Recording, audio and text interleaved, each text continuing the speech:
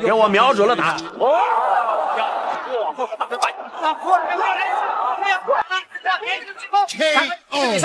美国两米特种兵拳王来华嚣张踢馆，结果惨被中国巨人杀手一拳打飞在地，紧接着更是乱拳当场打碎头骨，险些当场身亡。好，各位亲爱的观众朋友们，这场比赛是为您带来一场非常精彩的中美对局。好，我们看两名选手的身形差距呢，还是非常的明显。对方的美国特种兵拳王卢卡斯在身形啊、身高和臂展上都有着巨大的优势。那么目前对方的美国特种兵拳王卢卡斯在我们中国擂台已经是十三连胜，也就是对华不败，这也使得对方的美国特种兵拳王卢卡斯相当之猖獗，在媒体发布会面前更是当众羞辱我们中国选手、中国人。你们中国人在我的面前就是一群矮小的瘦狗，就算你们跳起来，也顶多只能打到我的膝盖，而我只需要一低头就可以一拳打爆你们的狗头。好，观众朋友们，我们也看到了对方美国特种兵拳王的嚣张，他是仗着自己人高马大，瞧不起我们中国人。那本场比赛，我们中国的巨人杀手张志磊的师弟李龙霸气出山。好，比赛开始了，看一下红方选手李龙，是一个中国的胖小伙啊，他人送外号“巨人杀手”。呃，因为他啊，在这个我们国内啊，曾经打过的比赛啊，百分之九十以上都是以小博大战胜对手，所以说被称为这个巨人杀手。好，那蓝方选手就是美国的特种兵拳王，身高两米的卢卡斯。那么对方的卢卡斯在美国最牛的部队啊，也就是海豹突击队当中啊，待过五年。对，很明显的，李龙的话，他的这个双拳的实力还是在的。他在目前没有施展更多的腿法，但是对方就一上来这个高扫腿，说明双方对方的这个技术还是比较全面一些。还有好，李龙，哎呀，李龙这一拳呢是摆拳被对方给防住了，嗯而且我们看到卢卡斯今天的这个战术运用非常的灵活，呃，这场比赛的话，一定要小心对方啊，卢卡斯的飞膝，因为对方是练习多年的泰拳，他的飞膝很厉害啊。在过去的十呃中国的十三场比赛，有八场他是用飞膝啊 KO 我们中国选手。那我相信小胖啊，在比赛之前应该也是有所准备。你看他的头部的腰闪是吧？这个卢卡斯是灵活灵活，哎，呦这个后手拳很危险啊！好在这李龙李龙是特别自己的头部的防守。好，又是一个飞膝，但是小胖啊，李龙的防守还是非常的不错。虽然说我们看李龙今天在身形上有着非常大的一个劣势啊，但是这种比赛呢，呃，尤其是重磅级别那，像李龙这种选手，可以一拳啊，完全有机会啊，可以秒杀对手。而且李龙在此之前，他的呃实战经验啊，包括以小博大的经验很丰富。那，现在前手刺拳在不停的点着李龙，啊，李龙是卢卡斯，哎，卢卡斯确实打得很聪明啊。是的，而且他的前手刺拳的速度也也比较快，李卡斯。这个卢卡斯有他拳击的基础嗯，啊，他的刺手那个前手的刺拳，他的点击。而且对性很强。对了，他前手刺拳，他的上勾拳都是这个拳击技术的体现啊。李龙的正蹬，哦，你看这个后后手，手打中，嗯，这应该是个好，最后的时间，呃，双方第一回合还是以试探为主。呃，实际上很多外国人都认为我们中国没有重磅级啊，或者是大量级的这个选手，但是实际上啊，有很多优秀的啊，比如说奥日格勒、张志磊，包括今天我们在场的这个李龙啊，都是我们中国非常出色的重磅级选手。好，没有错，观众朋友们，比赛第一回合已经结束，打得非常非常的精彩。啊，双方在第一回合的这个整体表现啊，打得还是很不错啊。那么李龙面对一个身形比自己大这么多的一个选手，他还是很稳啊，没有说，呃，因为对手啊打得凶啊，我们而怕对手。你看，对于距离上的把控呢，李龙也是很精准。呃，对方的卢卡斯在美国的海豹突击队当中啊待过五年，那这一次来中国体育馆呢是横行霸道、猖獗至极，而且据说他还荒淫无度，呃，每一年把大部分的这个钱啊都投入到了这个找女人这件事情上啊。据说他当年的退伍费啊，这个刚退伍不到三个月啊，全部花光。好，一起看一下双方第二回合的精彩对局，观众朋友们千万不要错过。在于他的这个已经有一个预防动作了。哎，上勾拳，他这上是两次都打空了。对，距离没把握好。哇，现在李龙怀疑一个高扫踢啊！好，这场比赛温馨提示一下观众朋友们，在观看的时候呢，千万不要眨眼啊，因为重磅级别的比赛呢，稍不留神啊，就有可能会 KO 啊。所以说这个比赛，如果你眨眼啊，就可能会错过这个精彩的片段。好，我们看李龙的进攻打得很凶，完全把压制力给到了对手。啊，现在双方的节奏慢慢的变缓了，李龙也是一个假动作的高。呃，李龙啊，小胖的这个拳呢是非常的重，据说他的这个重拳能打到八百斤以上。哦呦，哇，这一拳我们看，对手站都站不太稳。现场的裁判送给了对方一次读秒啊，我们看对方的表情，我 还是有点懵啊，因为没有看清楚什么东西飞过去。那对方啊很擅长这个飞膝，那么李龙呢也是抓住了对方啊飞膝的一个机会，一拳把对方干翻在地。有机会了，啊啊！但是但是不要急，不要急。对，对方的前手刺拳的穿透性还是在的。哇，后手大轮摆，啊，过来了，过来了，过来了！哎呦，观众朋友们，那再一次读秒，那么裁判是终止了对局，因为这个比赛呢，如果再不终止的情况下，呃，对方啊，这个卢卡斯啊，有可能会身亡擂台。好，真不愧是巨人杀手。本场比赛，我们中方选手李龙的表现非常的出色啊，连续的多记重击打翻了对手。呃，第一次重击呢是对方飞膝啊，然后被我们打飞出去啊。那么第二次的话是连续的重拳，现场裁判不得不拦啊。如果再不拦的话，可能啊对手的脑壳那就不是脑壳了啊，可能是一团浆糊。加拿大花一百万聘请拳王来华，无视规则调戏中国小将。你打我啥！你打我啥！小兔崽子，他反了你了！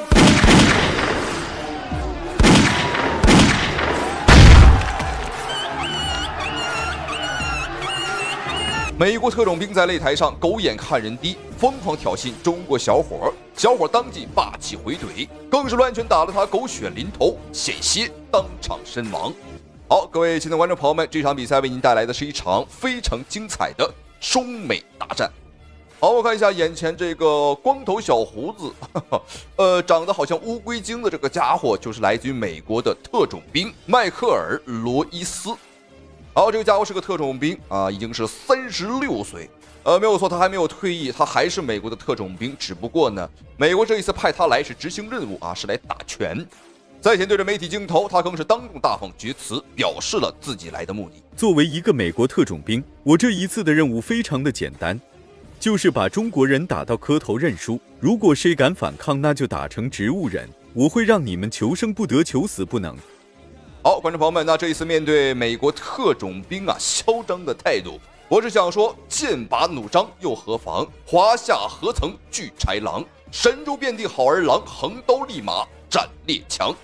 好，没有错，我们神州大地遍布好男儿啊，是不可能惧怕列强的。啊，因为如今已经是二零二三年了，哈哈，啊，这帮老外还以为我们中国是一百年前的中国啊。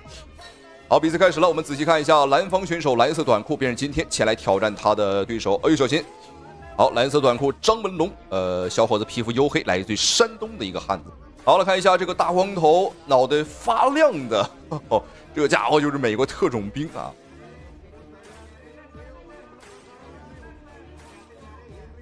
不是什么情况发生了突发情况？对方应该是被打到了眼睛啊，被戳到了狗眼。呃，那么中国小伙应该不是故意的啊，我们可能是有意的，打的就是你的眼睛。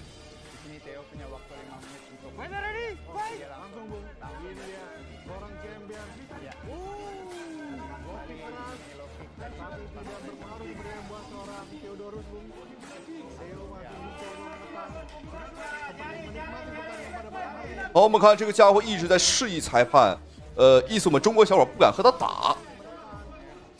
能看得出来，这个美国特种兵呢，的确是非常的嚣张，而且比赛开始他是不断的往前推进啊，这个进攻意图还是很明显的。这场比赛要小心了，要注意的是，呃，这是一场二十五分钟的大战，五个回合，每回合五分钟的时间。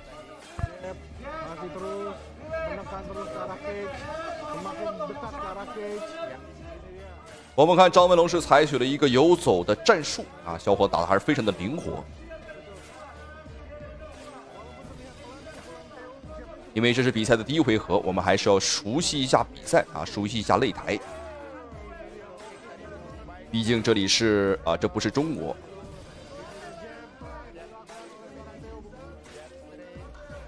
我们看对方的这个美国特种兵的胳膊呀，的确是很长。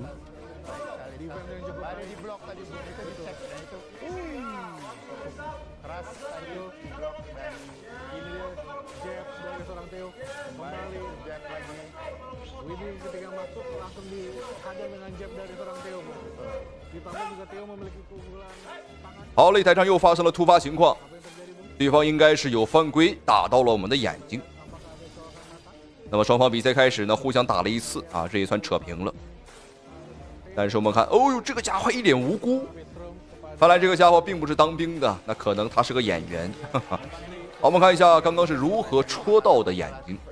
我们仔细看，对方，哦呦，提前就已经准备好了这个爪子。呃，对方他的狗爪子抓伤了我们的眼睛。那么在一开始呢，张文龙戳对方的眼睛，观众朋友们很明显，那不是故意的，而对方这一爪明显是在有意的去复仇。看得出来，这个家伙是个小肚鸡肠，一个非常卑鄙的人。好，这里检查已经完毕，我们比赛继续。但是张文龙今天还是要小心，因为这个家伙的确啊手段非常的卑鄙。呃，能看得出来啊，他是一个能够能够为了赢啊不择手段的一个选手。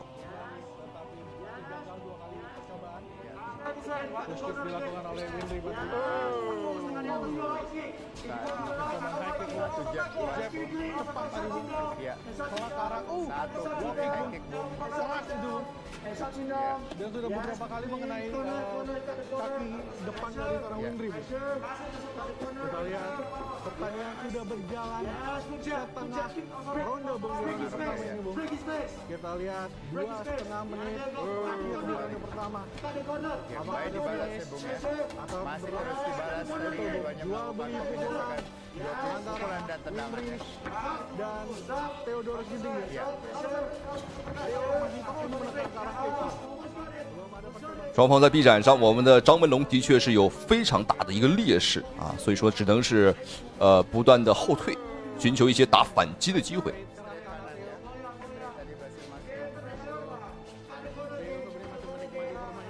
我们看这个家伙的表情非常的多，而且面对我们的扫踢，他不断的拍击大腿，示意我们的张文龙呢继续打。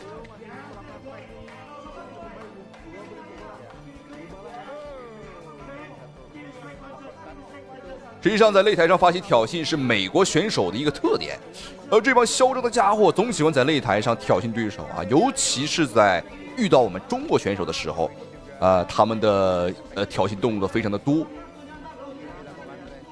好，张文龙还是很稳，我们背靠龙网，不断的左移右移，也不给到对方啊抓住我们的机会。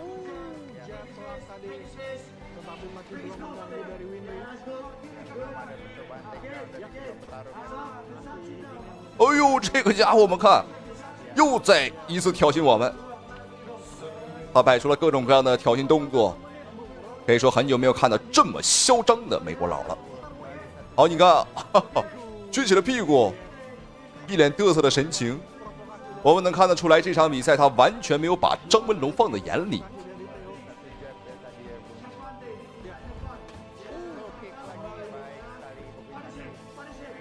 好，一回合还有最后半分钟的时间。好，你看对方还在示意裁判，呃，打着打着就跟裁判说一句啊，说我们中国选手不和他打。那我相信屏幕前有些观众朋友们肯定也认为啊，这个张文龙的战术可能是有点过于保守。观众朋友们要清楚，这是一场二十五分钟的大战，呃，并不是打得猛就能赢了啊，体能分配非常的重要。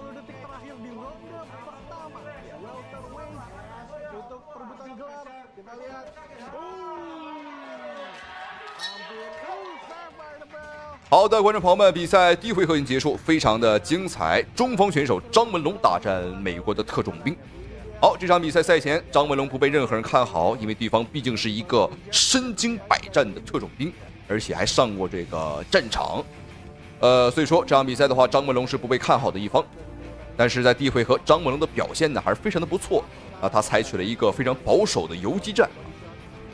那我们中国人民和中国拳手呢，实际上非常擅长游击战啊，这是从我们这个骨子里和血液里流淌下来的东西。而当初打这个小鬼子啊，我们在我们中国国内的时候，抗日的时候啊，就采取了非常多的游击战。好，观众朋友们，接下来看一下双方比赛第二回合的精彩表现，精彩的对局，观众朋友们千万不要错过。现场的美女，那 她一直在点头啊，不知道在不知道在示意啥。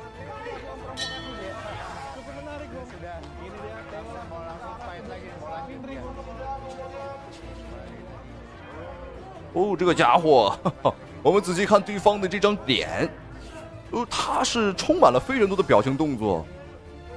我现在甚至怀疑他可能是从某个电影学院毕业的啊，根本不是当兵的。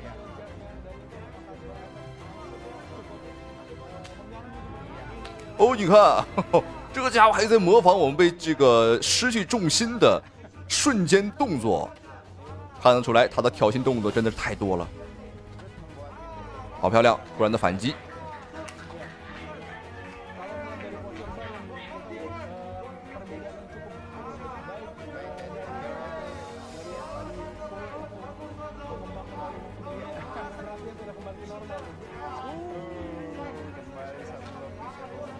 实际上，张文龙他的拳是非常重的啊，因为他练习过八极拳。我们在中国有句老话，就是“十年太极不出门，一年八极打死人”。啊，说的就是这个八极拳。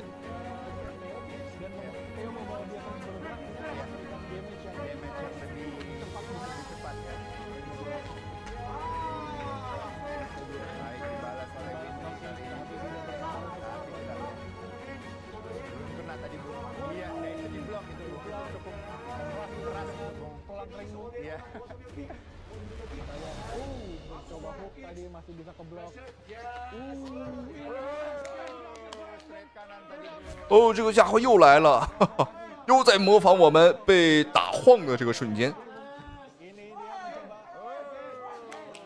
好，你看，哦呦，他到底想要干什么？他认为我们中方选手打的不够凶猛。不着急啊，凶猛的都在后面。呃，本身啊，这个张文龙他也属于一个慢热型选手啊。好漂亮，头部的摇闪。对方的刺拳很快，但是就是打不着。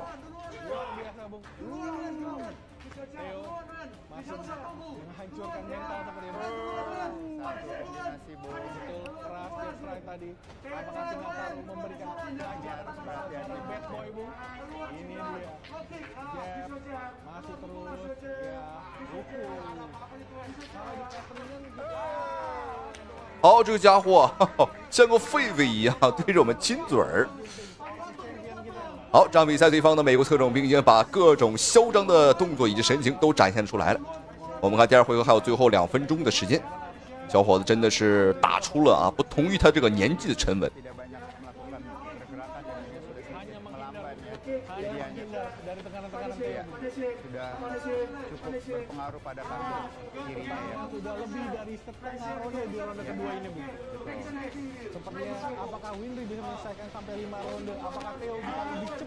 哇哦，这一拳打了对方一个三百六十度的转圈我们看张文龙的话，状态应该是要反击了。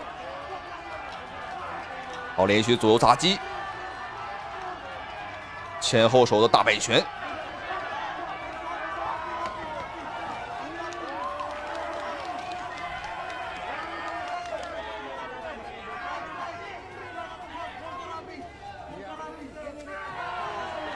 好漂亮！这个转身摆腿有效果，对方明显是有点儿感觉到痛苦了。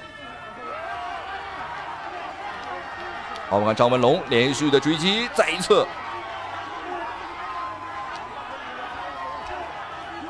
好漂亮！哦，这是打晃了，有机会。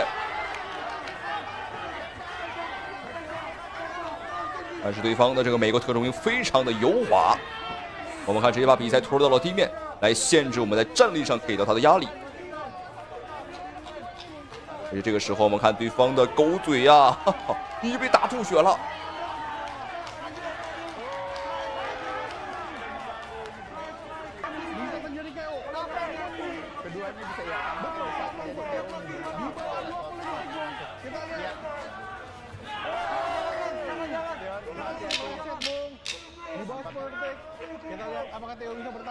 untuk melanjutkan hingga roda ketiga. Bung. Iya.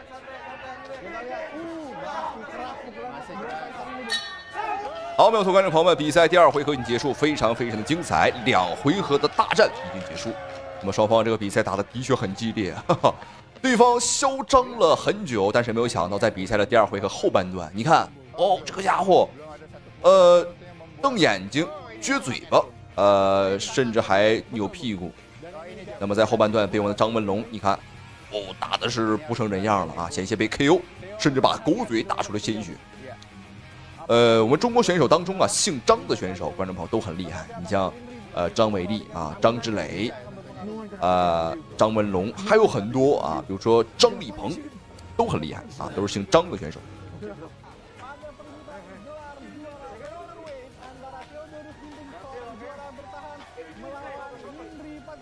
45 sang penantang di sudut biru. Kita lihat segera dimulai Bung Devi ronde ketiga. Iya. Semakin seru pertandingan Bung. Iya. Theo kembali menekan Bung. Bung.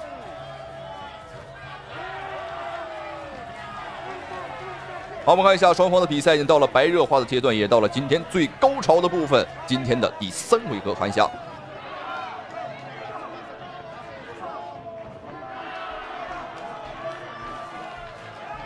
我们看张文龙这里是拿到了对方的后背，有机会。对方的美国特种兵现在的话就是危在旦夕。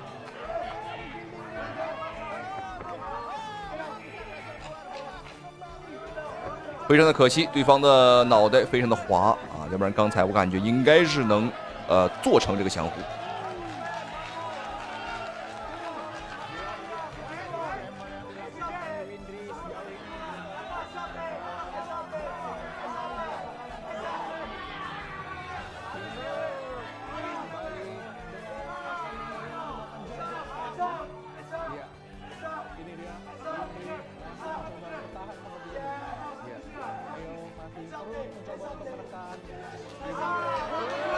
好，观众朋友们，看对方的美国特种兵，哦，这个家伙已经站都站不太稳了，而且整个人好像是喝多了一样，也没有了这个撅嘴啊，也没有了扭屁股啊，也没有各种脏话了。而且我们看现在对方的速度以及体能呢是有着明显的下滑，而且这一回合我们看我们的中方选手张文龙，他已经不再被对方压制啊，而是和对方呢来到了笼子的最中央，两人开始了拼拳。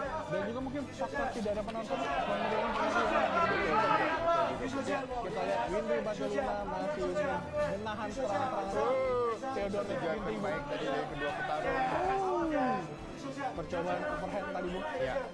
dibalas ditambah dengan jab dari seorang Theo tiga menit bu tiga menit di ronde ketiga Iya. apakah ada jual beli pukulan Ada cepat jual tadi bu pukulan cepat atau tampaknya. ada take down kita masih menanti dua fighter yang bisa melakukan apa pun bu Iya. dua fighter belum pernah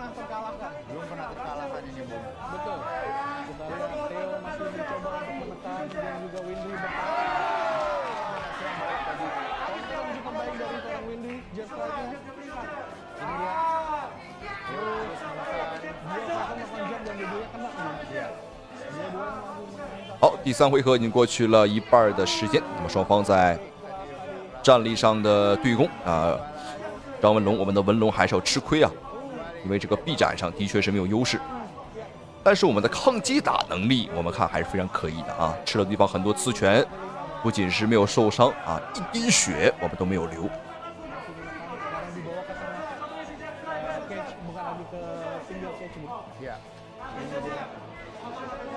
Di bawah 2 menit, Bu. Di bawah 2 menit. Kita lihat apakah ada serangan-serangan beruntun sepertinya, Bu. Ini dia Theo mencoba eh, memberikan tekanan dengan pukulan-pukulannya dan juga low kick. Uh, Oh, kembali tadi pukulan. Baik. Oh, kembali satu overhand overhand ya Overhand Jab kanan lagi. lagi. Jab lagi dari seorang Theo. Ya. Windri makan body shot belum mengganggu Teo Dua fighter masih juga. Uh, double jab dari seorang Teo Double jab dari seorang Teo Kembali jab. Di sini yang Ini 哦，漂亮！哦，这拳打晃了，连续上面的砸击，对方危险了，还在打，转身很快。这个时候要再一次尝试做降服，但是这个扣拿的很快啊，而且背部我们双腿在搭扣。这个裸脚我们看，哎呦，观众朋友们，对手拍手投降。好，各位亲爱的观众朋友们，这场比赛真的是非常非常的解气，非常的给力。我们看，对方像一条死狗一样躺在了地上。好，这场比赛我们的中方选手，我们看张文龙非常的开心，现场是跳起了舞蹈来庆祝。好，观众朋友们，这都是应该的，因为这是属于我们最终的一场胜利，的确打得非常的精彩。呃，这场比赛的话，虽然说我们的作战经验可能不如对方多啊，但是我们采取的战术和应对方式，呃，非常的好。今天也是成为了战争对手的一大利器。还是那句话啊，剑拔弩张又何妨啊？我们的神州好儿郎，我们横刀立马战列强。好，恭喜张文龙。那同时非常感谢屏幕前您的收看与支持。好了，咱们下期视频不见不散。不高手是，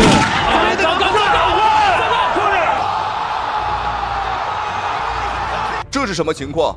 拥有金钟罩铁布衫的武僧一龙竟然被打到东倒西歪，连站都站不稳。现场裁判怕出人命，赶紧终止对局。见到武僧一龙如此的狼狈，现场的女粉丝上台嚎啕大哭，伤心欲绝。然而就在武僧一龙被 KO 的第二天，太极拳传人大弟子韩飞龙霸气出山，要把武僧一龙丢掉的脸面争回来，要为中国武术证明他是太极拳大师王占军的关门大弟子。年仅十五岁就斩获全国太极拳冠军，他四两拨千斤，以柔克刚，击败过无数前来中国踢馆的老外。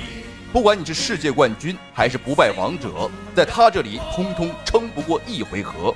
他就是太极拳实战第一人韩飞龙。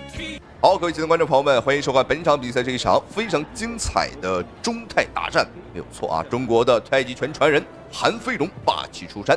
本场比赛的话是无论如何要为中国武术证明啊，要把武僧一龙呢丢掉的脸面给他争回来。好，这场比赛他要迎战的对手呢正是泰国顶级拳王，呃，一百三十五磅的泰拳世界冠军沙玉郎。好，这个家伙的确是一个非常凶狠的角色。那么这场比赛也是将我们少林寺的武僧，号称有着金钟罩铁布衫的武僧一龙一脚爆头，当场 KO。仅用时不到一回合的时间，那么当时的武僧一龙是摇摇晃晃啊，金钟罩铁布衫全部失效，站都站不稳。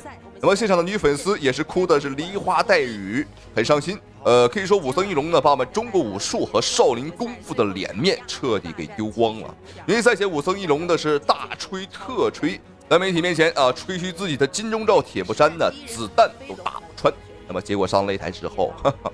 那么鲨鱼郎用了一个高扫腿，直接是打穿了他的铁头功。好，比赛开始了，我们仔细看一下，红方选手，呃，穿着黑色短裤的便是我们中方选手太极拳大弟子韩飞龙。那么蓝方选手，这个穿着蓝色裤衩的便是来自于呃泰国的拳王鲨鱼郎，和拳王波球、亚桑克莱以及潇杀狂啊，他们四个并称为泰国拳坛的四大天王，的确是很霸气。双方比赛开始都是互相的试探啊，打的并不是特别的凶。呃呃，沙玉郎呢，他是一个极具爆发力的一名选手，但是呢，他打拳，呃，虽说爆发力强，但是也不莽。哦，漂亮，转身的边拳再加一个劈挂腿，这是韩飞龙非常擅长的这个太极拳的招式。来实战结合的更好的一些，在我们射击初期的时候，他刚来我们比赛的时候，他还会有一些很。不太协调的传统武术武术的动作的，但现在已经进步非常明显。嗯，今天相对于韩飞龙来说啊，是一个不小的挑战啊。对方无论在实力以及名气上啊，都远远呃要大过自己一截儿啊。今天对于飞龙来说是一个呃不小的一个挑战。当然，如果今天呃挑战成功啊，也可以啊，这个一举成名。是的，但是韩飞龙呢，现在由于传统武术这个这个热潮吧，韩飞龙也是比较火的，而且他确实打出了自己的风格、自己的战绩，所以在网络上推广的时候，韩飞龙的点击量还都是非常高的。呃，说双方刚才一个是后手，一个转身摆，都互有命中啊。呃，那么韩飞龙呢？这个在赛前啊，是因为狼王沙一郎没有降重成功，被扣掉了一分。那么韩飞龙就是有一分的优势在手。其实我自我自从认识这个鲨鱼狼的时候，他就这么胖，所以我我很佩服泰国选手对于拳的热爱，但是我。呃，韩飞龙的这个腿法绝对是没有问题的，因为他的这个腿功呢，呃，是他最擅长的一个点。那么在此之前的比赛当中呢，韩飞龙经常用自己的呃舍身踢或者说是扫堂腿啊，呃来进攻他的对手。但是这场比赛的话，韩飞龙并没有去，并没有去，呃用他这个扫堂腿，因为现呃据说赛前的话，裁判哦来了，哦呦舍身踢，这是韩飞龙最擅长和拿手的一个招式。刚刚说到啊，韩飞龙就来了一招，好漂亮连续中扫，但是力道上来看啊，还是差了点意思啊。呃，韩飞龙并不是很擅长这种中扫腿，他比较擅长啊，比如说侧踹啊、舍身踢以及扫堂腿。好，观众朋友，比赛第一回合结束，那您觉得双方选手打得怎么样？呃，对方的鲨鱼狼呢，也是一改往常强势呃强悍的一个作战风格，那么对韩飞龙的太极拳明显是有所忌惮啊，因为我们都知道啊，太极拳非常擅长四两拨千斤和借力打力，那么对方也清楚啊，呃，对方打得越狠，我们韩飞龙会还的越狠。所以说，双方选手在比赛的第一回合呢，也是简单的切磋啊，打得有来有回。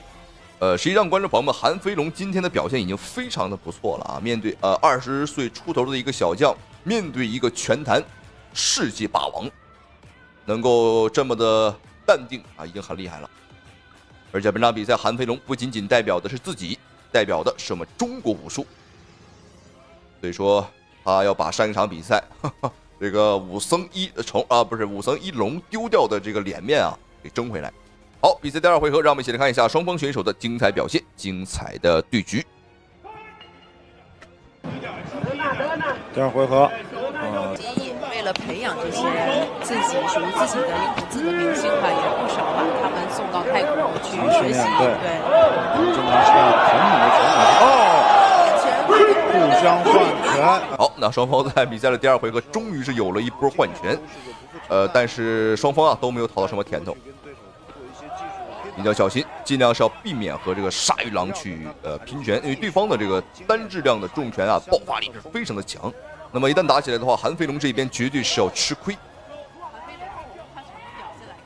一定要发挥自己的优势啊，自己腿法上的一个优势。他最后连续四个扫踢是抓住了那个时间点，泰国这个速度也快，最后四最后几秒不会防守但是连续了四个扫踢。呃，扫踢还是有效果的，可以尝试再出一下。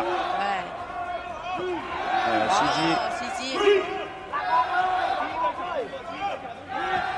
舍身踢，哦，就是小腿挂到了鲨鱼狼这个颈部。是的。哎呦，高！呃，韩飞龙的这个战术很聪明啊，打完飞膝之后立马进行搂抱，也是不给对方任何一个能够进攻自己的机会。好，再一次通过不断的搂抱来限制对方鲨鱼狼在拳法上的一个进攻和压力。好，我们看比赛第二回合已经过去了一半的时间，双方依旧是有来有回。呃，但这样打下去的话，还别说啊，呃，韩飞龙在点数上。感觉好像是要略高一些啊，所以说还是在中国打响了名气。对。韩飞龙呢，在备战期间呢，一直是在都江堰。我们知道，现在一月份都江堰四川那边就是阴冷阴冷，飘着雪，但是韩飞龙每天坚持去跑步十公里。那种外面寒冰，然后里面透着汗水的感觉，真的不是一般人可以忍受的。好的，刚才韩飞龙一个前手摆拳的迎击，哎呦，双方换拳有效果。呃，韩飞龙队一定要把自己的前手撑出来，多去跟沙一郎换拳。如果沙一郎这次再不发力，比赛的第二回合，韩飞龙也是一直在避免和沙玉郎去拼拳。呃，因为和对方拼拳啊，的确 绝对是不明智的啊！好，小心！啊，这应该是一个滑倒啊，并不是击倒。好，我们看韩飞龙的应对明显是有一点点小吃力，但是问题不大，毕竟还是能够招架得住。好漂亮，再一次的搂抱化解对方进攻，这个全伤啊也是非常之高。好，各位观众朋友，比赛第二回合结束，让我们闲话少说，直接把比赛转接到第三回合。好，我们看，观众朋友们，现场的这个，哦呦，有点呃有点晕啊！我这个人呢是比较呃晕球的啊，平时不怎么看球。如果让我和这个美女打一场啊，我觉得我可以用这个咏春拳法啊和她 PK 一下。好，我们一起来看一下双方比赛来到了第三回合，一起来看一下双方的精彩表现。看一下这回合韩飞龙能否有 KO 对方的一个机会。那我们理呃理性来分析一下，想 Q 对方啊，的确是有难度。好，接腿后哦，漂亮！接腿后的连续重击，韩飞龙是抓住了这个时机。空档抓得很精准。第三回合能不能有回转乾坤的能力？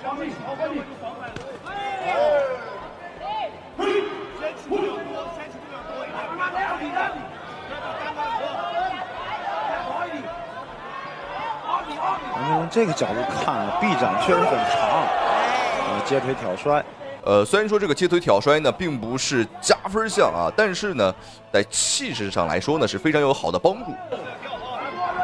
阿尔飞吸，但是挨了对手一个迎击。不断前手刺拳试探。嗯，韩飞龙今天的前手控制的距离啊，非常不错。这样让沙一郎几乎每一击是把整个身体扑上去的，为了以求重量嘛。所以呃，打完一击之后，韩飞龙这个距离的控制会往往会让沙一郎的很多动作落空。好，我们来聊一下武僧一龙上一场比赛为何会输给这个鲨鱼狼啊？呃，上一场比赛输给鲨鱼狼，只能说武僧一龙的太过于自满，太过于自大啊，没有把对方放在眼里。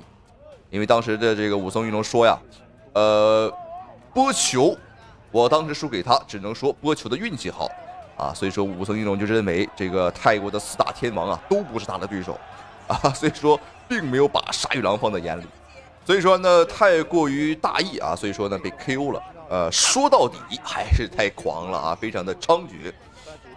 那么很多人说武僧一龙是个假和尚啊，但观众朋友们啊，这个这个世界上只能说是真真假假，假假真真，没有什么是太绝对的啊。呃，到底是真是假，您自己心里有个数就行了啊。好，我们看比赛第三回合还有一分钟的时间。这一拳好重。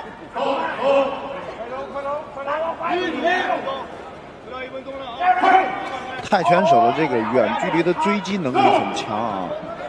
呃，单个的拳加扫踢的这个跨度也很长，所以韩飞龙这个时候不要直接退啊，如果是退的话，要两边侧。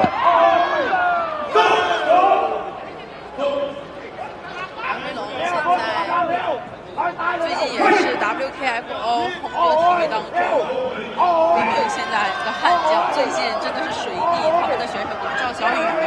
呃，包括屠文东都是受伤啊，没有办法参赛。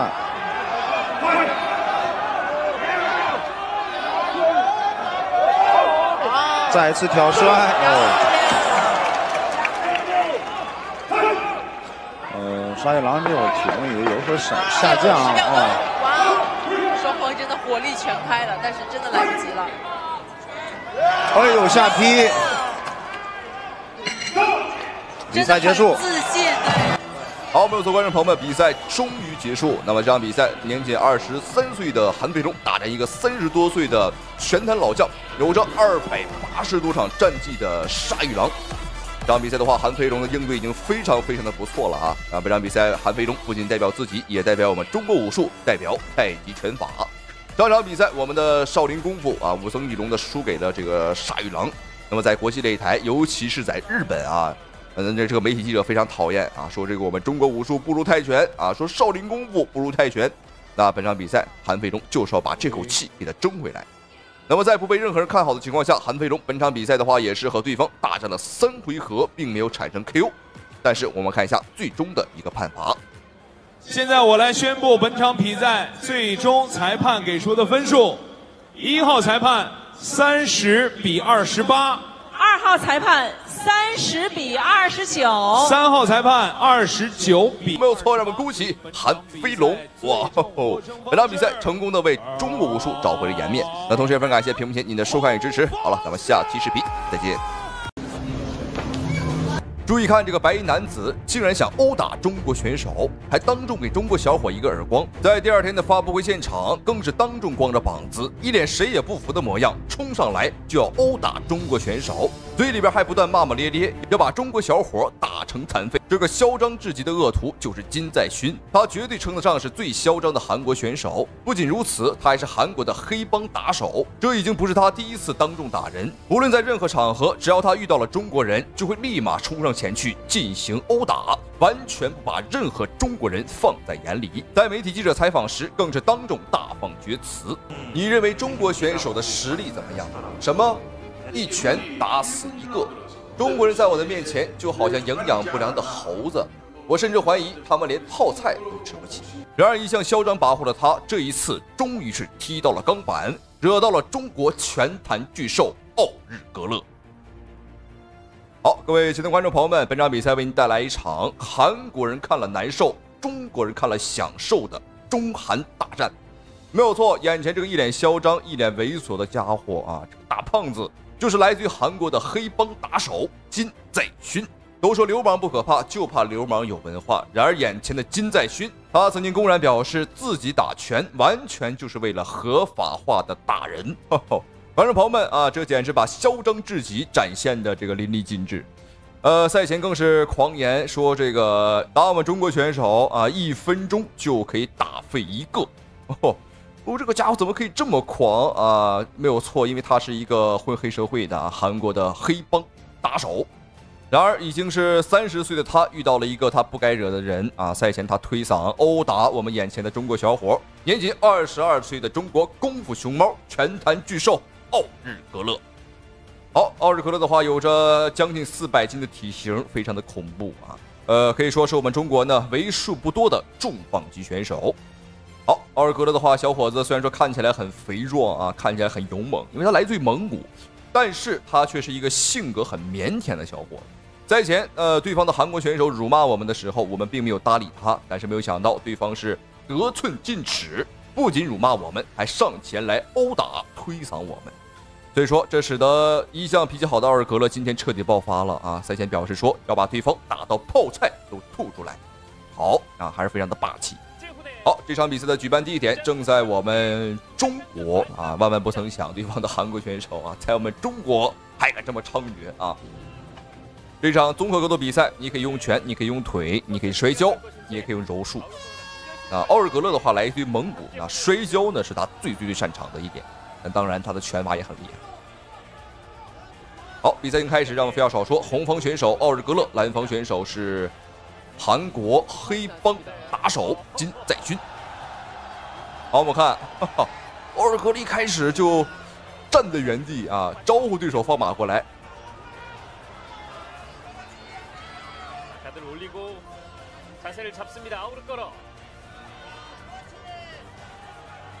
奥尔格勒今天在身形上的话，还是有着绝对性的一个优势，要比对方呢重上一百多斤。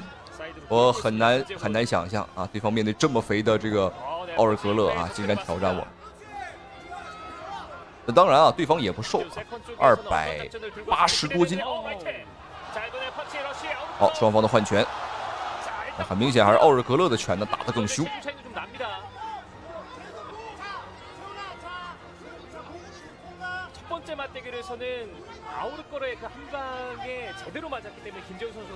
双方的龙面对局，二百多斤的金在勋竟然选择了主动去压制四百斤的奥日格勒。那对方的这种选择呢，和这个自杀啊，几乎是没什么区别。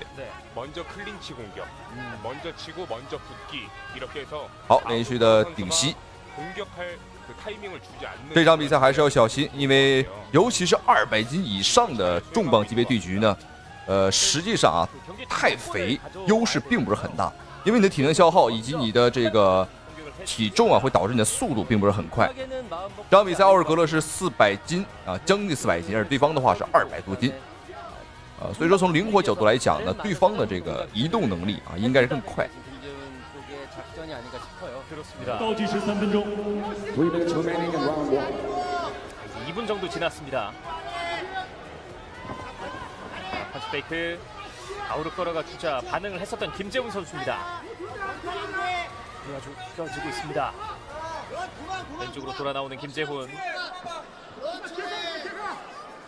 자, 케이지를 넓게 활용하고 있습니다. 김재훈. 哦，什么情况？奥尔格勒选择休息一会儿，但是对方的金在勋也袭击我们。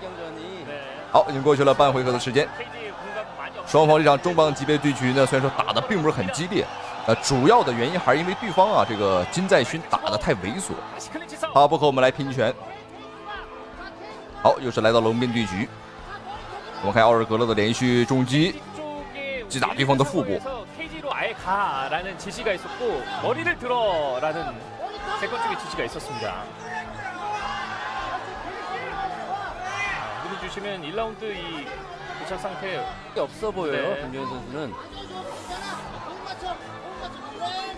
중장기전을 보고 있는 것 같습니다.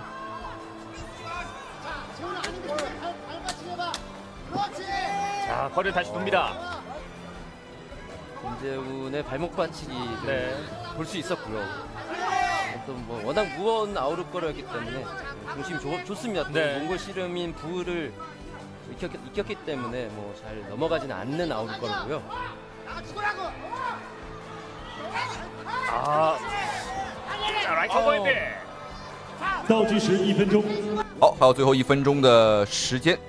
呃，虽然说这场综合格斗比赛，但是双方啊似乎都不是很想打地面，因为凭借奥尔格勒的体型呢，实际上把对方拖到地面是很轻松的一件事儿。 위원의 말처럼 진행을 하고 있습니다.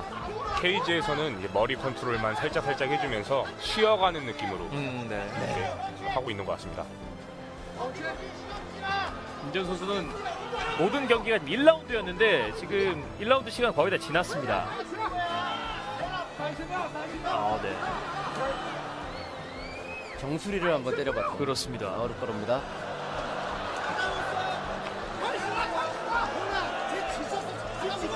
아우르거러가 지쳤다라는 이야기를 해줍니다. 역대 최고 몸무게를 찍었기 때문에 네. 전보다 체력적으로 더 부담이 클 겁니다. 그렇습니다. 자, 한패 아우르거러. 성큼성큼 접근했었던 김재훈. 아, 저 몸에서도 킥이 나오는데 네, 아 1라운드 마무리됐습니다. 好，没有错，观众朋友们，比赛第一回合已经结束，非常的精彩，一场超重磅级别的对局。双方选手可能打的有一些啊，并不是很激烈，但是我们可以从中发现很多细节啊。这奥尔格勒呢，他是一个保存体能的打法，想看一下这个金在勋啊，究竟是有什么本领。 但是经过这个短短的试探，我们已经摸到了对方的底细啊，那对方就是呵呵 没啥本领，就是对方最大的本领。呃，实际上对方也是一直在尝试和我们来换拳啊，只是换不过。而且奥尔格勒的这个中击啊，我们的拳速要比对方还快很多。好，让我们一起来看一下双方第二回合的精彩对局啊，应该不会像第一回合这么平淡了啊，因为奥尔格勒热身完毕，那么接下来就是一场腥风血雨。 보여줄지 어떤 작전을 해올지 2라운드 시작했습니다. 김재훈 선수 달라진 건 굉장히 여유를 보여주고 있습니다. 네. 급하지 않게 경기를 이끌어간다는 게 어 선제 공격. 네. 상당히 발전한 성장한 모습이라고 对方的金在勋在韩国的话是一个黑帮打手，呃，据说这个家伙从小就是个混混啊，浑身纹满了这个纹身啊， 呃，想借着这一身纹身啊，想吓唬我们中国选手。他可能不知道啊，我们中国呢，我们的祖国已经打黑多年，没想到啊，韩国的黑社会竟敢来我们中国。好啊，打完比赛就别走了啊，直接跟我们的警察叔叔啊，这个吃桶泡面去。